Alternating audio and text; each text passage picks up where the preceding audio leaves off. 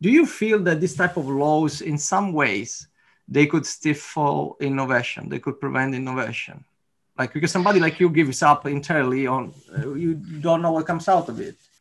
Yeah, I think um, I think there's got to be certain laws that protect human privacy.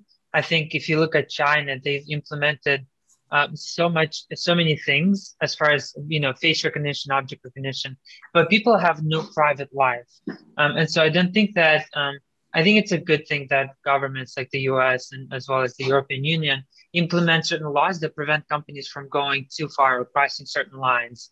I think what we're doing, think about it back, um, I think it makes sense that we stopped uh, with uh, using face recognition just because it was a little bit you know a little bit creepy um, i think nowadays a lot of what we're trying to do can be done without the use of face recognition and there are companies that are well funded who do similar things without using face recognition uh, because you can you can recognize an object recognize that it's one person and then track them throughout the store without having to use their face as the main ident- identification and the same the same thing goes for shoplifting you can actually predict or see um, a shoplifter steal something by their movement. So it's a series, a sequence of movements. And so you can break it into a math and then basically predict that that person is likely to steal something.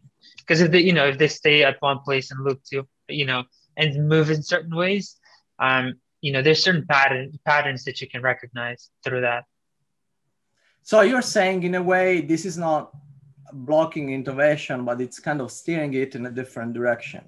I think so. Yeah, I think so. Was, so, uh, so you you're taking a stand that this might be positive uh, because it forces technologists and innovators to think through the problem in uh, deeper and find alternatives do, yeah. to solve the problem. I do, yes. So, in other words, the computer face recognition is kind of the shortcut, and then it might be abused because people would go for the shortcut rather than thinking how to solve the problem in, in a different way.